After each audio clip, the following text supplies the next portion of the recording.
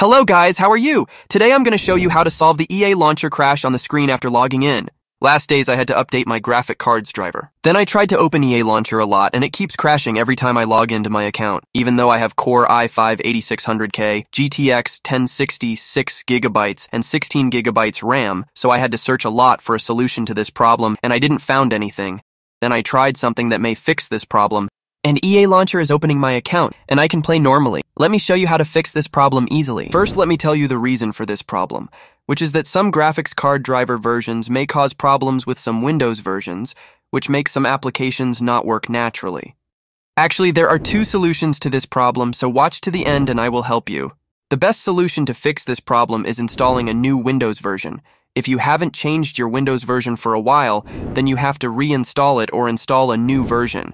It will fix this problem and I tried this and worked with me.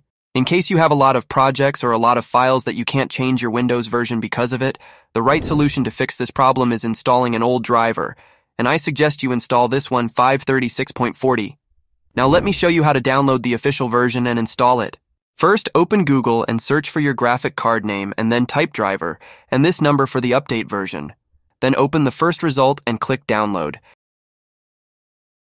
and wait till it is finished downloading. Open the downloaded file and install it. Then you have to wait for the installation to finish. When it's finally ended, restart your computer and let's try to open EA Launcher again. As you see now, we can open EA Launcher and log into my account without any crash. Thank you for watching this video. If it helps you to solve your problem, tell me in the comments and don't forget to like and share this video, subscribe my channel, and tell me in the comments if you have any other problems. See you.